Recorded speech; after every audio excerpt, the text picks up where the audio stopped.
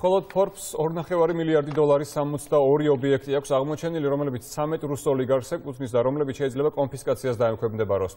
მაგალითად, ცნობილია რომან აბრამოვიჩის უძრავი ქონება ასპენში, კოლორადო შტატში, საფრანგეთში, კარიბის ზღვაზე და რა თქმა უნდა, დიდ ბრიტანეთში საერთო ღირებულება 620 მილიონი დოლარია. რუსი ოლიგარქების ქონება იმდენად დიდია და ისია გაბნეული მთელ მსოფლიოში, რომ მათი სრულად აღრიცხვა უკიდურესად რთულია. თავის მხრივ Wall Street Journal ავრცელებს ინფორმაციას, რომ რუსეთის გენერალური პროკურატურა უცხოური კომპანიების ხელმძღვანელებს მწვანელებს დაკავებით და ქონების ექსპროპრიაციით ემუქრება. დასახელდა McDonald's-ი და IBM-ი, ამიტომ კომპანიები ცდილობენ გაიყვანონ საზღვარგარეთ თავიანთი ფილიალების ხელმძღვანელები. Это душа, это то, с чем я просыпаюсь и засыпаю в крюк. ბისთვის რა არის ტრაგედია? ეს ახალგაზრდა რუსი ბლოგერია, რომელიც მხოლოდ იმას გლოვობს, რომ დღეიდან საკუთარ Instagram გვერდზე ფოტოებს და ვიდეოებს ვეღარ დადებს. რამდენიმე წუთიან სევდიან მონოლოგში რუსი ბლოგერი არც ერთხელ ახსენებს იმიზეს რის გამოც გვერდი გაუქმდა. არ არის გამორიცხული არც კი იცოდეს რომ ყველაზე პოპულარულ სოციალურ ქსელზე წვდომა მის ქვეყანას უკრაინაში შეჭრის გამო შეუწყვიტეს ასე მიმართავს რუსი ბლოგერის სახელად ევექსალინი მათ ვინც ამ დღეში ჩააგდო და Instagram გვერდი დაუბლოკა. ვიდეოს ჩაწერა და შემდეგ ატვირთვა რამდენიმე საათით ადრე მაინც მოასწრო. აცრამლებული და გაბრაზებული ქალი განიცდის, რომ ბრენდულ სამოში გამოწყობილი მის ყოველდღიურ რუტინას 32000 გამომწერი ვეღარ ნახავს.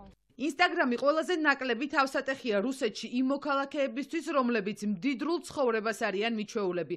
ევროპა მათთვის ახალ სანქციებზე იწყებს მუშაობას. ძვირადღირებული ავტომობილები, რომლებიც 50000 ევროზე მეტი ღირს, ძვირფასი საათები და სხვადასხვა დასახელების საგნები.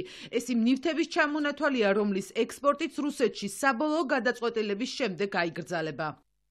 შეზღუდვები შეეხოთ მაკდონალდსის მოყვარულებსაც. რესტორნების დახურვამდე საათობით დგანან რიგში და ელოდებიან შეკვეთის მიღებას.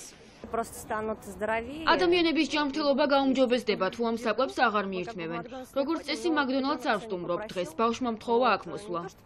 გადაწყვეტილება მაკდონალდსის დახურვის შესახებ არასწორია. ეს იყო ჩემთვის ერთადერთი ადგილი, სადაც ხელმისაწვდომი ჭამა შემეძლო.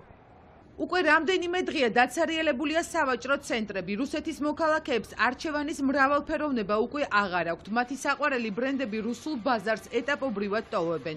Hugo Boss-ი, Zara-ს, Gucci-ს, Balenciaga-ს, Alexandre McQueen-ის და სხვა ცნობილი დიზაინერების მაღაზიები პროტესტის ნიშნად დაიხურა. ამის ფონზე კი ფასმა ადგილობრივ წარმოებაზე მკვეთრად მოიმატა. Закрылось несколько бутиков. დღეს ყველა ის მაღაზია იკეტება, სადაც ტანსაცმელს ყიდულობდი. მოულოდნელი არ ყოფილა. ვიცოდი რომ ასე მოხდებოდა. უკვე დეფიციტია ფარმაცევტულ პროდუქტებზეც. ოფიციალური ინფორმაციით უმსხვილესმა გერმანულმა კომპანია Bayer-მა რუსეთში ინვესტირება შეწყვიტა.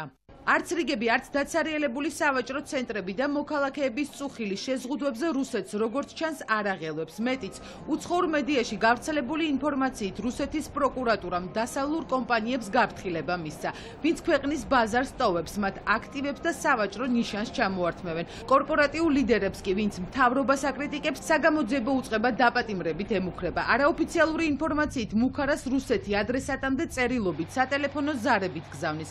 არერიდებიან ხელ ხელმძღვანელობასთან ვიზიტებსაც. გაფრთხილებულ კომპანიებს შორისაა McDonald's-ი, Coca-Cola და KFC.